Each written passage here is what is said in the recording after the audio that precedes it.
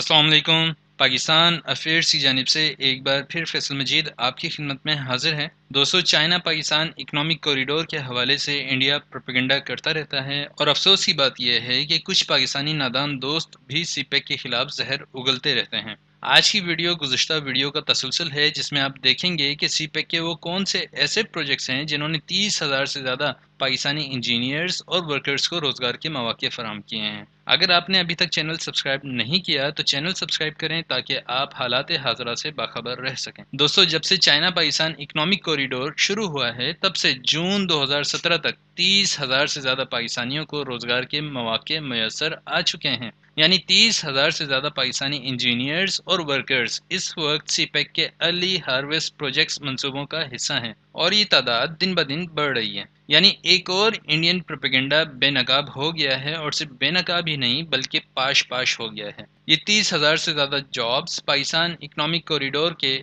Early harvest projects کی وجہ سے پیدا ہوئی ہیں۔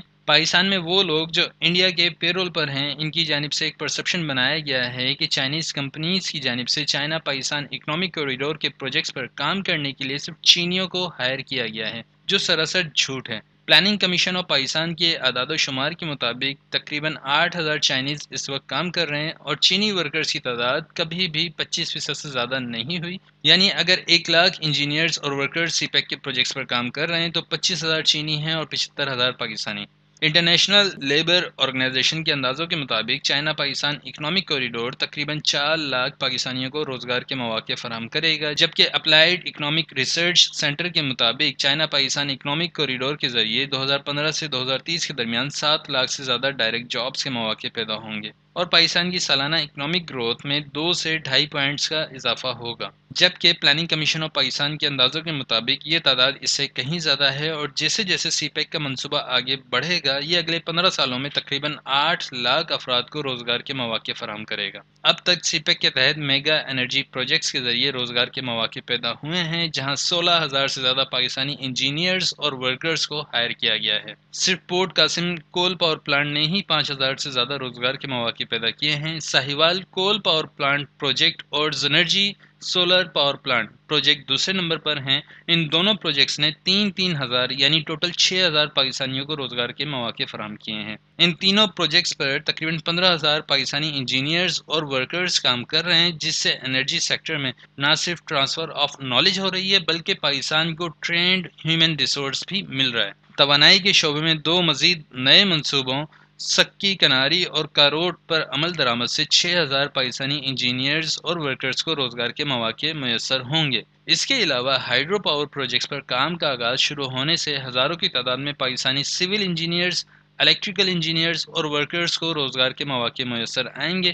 روزگار کے مواقع فراہم کرنے کے سلسلے میں توانائی کے منصوبوں کے علاوہ سی پیک کے تحت ٹرانسپورٹ انفراسٹرکچر دوسرے نمبر پر ہے۔ ٹرانسپورٹ انفراسٹرکچر اب تک تیرہ ہزار پاکستانیوں کو روزگار کے مواقع فراہم کر چکا ہے۔ نو ہزار آٹھ سو پاکستانی انجینئرز اور workers Pakistan Peshawar, Karachi motorway Multan, Sukkur section پر کام کر رہے ہیں، جو ایک بہت بڑا پروجیکٹ ہے سی پیک کا۔ اس کے علاوہ کرکم فیس ٹو حویلیاں پروجیکٹ دو ہزار اکہتر پاکستانیوں کو روزگار فراہم کر چکا ہے۔ اس کے علاوہ اورنج لائن میٹرو لاہور نے نو سو چھپن مقامی لوگوں کو روزگار دیا ہے۔ اس کے ساتھ ساتھ فائبر آپٹک پروجیکٹ نے پانچ سو اسی پاکستانیوں کے لیے روزگار کے مواقع فراہم کیے ہیں۔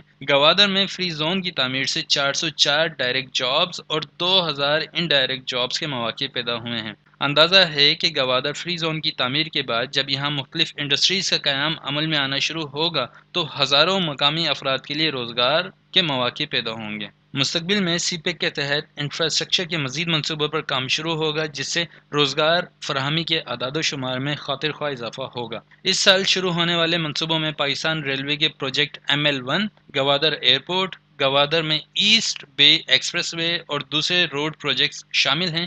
یہ تمام پروجیکٹس گزشتہ دنوں چائنا میں ہونے والی one belt, one road summit میں طے پائے تھے۔ آفیشلس کے مطابق یہ تمام پروجیکٹس دس سے پندرہ ہزار روزگار کے مواقع پیدا کریں گے۔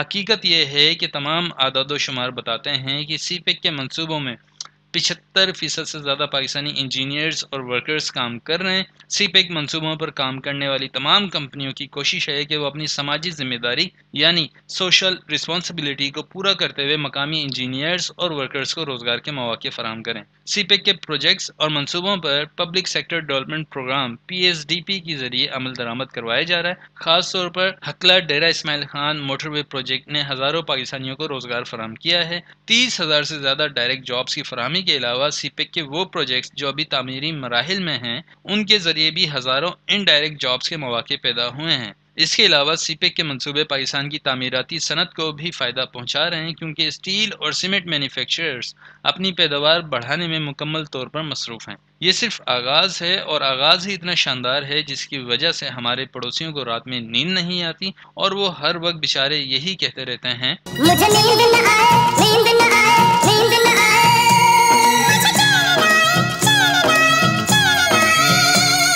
یہی وجہ ہے کہ جب سی پیک منصوبے کا اعلان ہوا تھا، تبھی رو نے ایک اسپیشل سیل قائم کر دیا تھا اور فوری طور پر اس کو تین سو ملین ڈالر دیے گئے تھے سی پیک کو ناکام کرنے کے لیے۔ اب سوال یہ پیدا ہوتا ہے کہ انڈیا جو کہ ہمارا دشمن ہے اور اس نے آج تک پاکستان کو دل سے تسلیم نہیں کیا، لیکن کیا وجہ ہے کہ وہ سی پیک شروع ہونے کے بعد سے پاکستان کے خلاف ایک پروپیگنڈا کر رہا ہے اور ہمارے بھارتی دوستوں کو پاکستان کی اتنی فکر ہو رہی ہے کہ وہ ہمیں بتا رہے ہوتے ہیں کہ سی پیک آپ کے لیے اچھا نہیں ہے، آپ چائنا کی کالونی بن جائیں گے۔ بھائی، آپ کو تو خوش ہونا چاہیے کہ پاکستان ایک دوبارہ سے غلام بننے والا ہے چائنا کا اور آپ لوگوں کو پریشانی کیا ہے۔